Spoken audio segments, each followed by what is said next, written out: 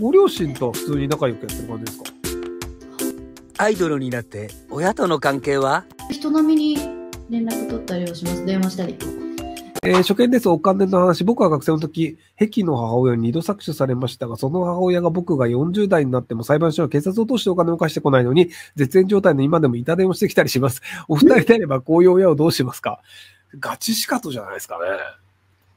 壁って何ですか？壁がちょっとわかんなかったんですけど、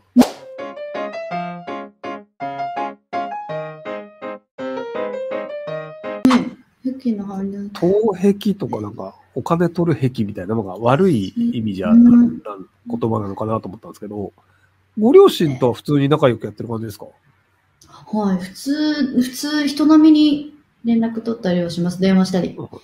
えー、だから想像できな。ないりたいとかって言った時に、いやいやいやいや、学校行くべきでしょみたいになんなかったんですか？全然なかったです。母親とか、なんかノリノリでした。やって、みたいな。あ、そうなんですよ。よかったね頑張れって感じでした。うん。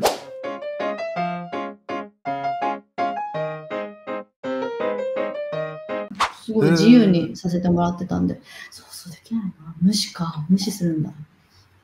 うんいや、まあ、さすがに対応してもしょうがないと思いますけどね。こういうのは。うん、そうか。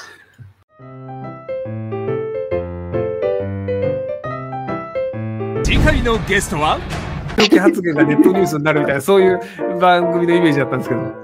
いや、なんか、普通にだって俺沖縄ロケ行ったりとか、北海道の札幌ロケ行ったりとか、俺の行きつけのラーメン屋さんを紹介するコーナーやったりとか、そういう番組だったんですけど、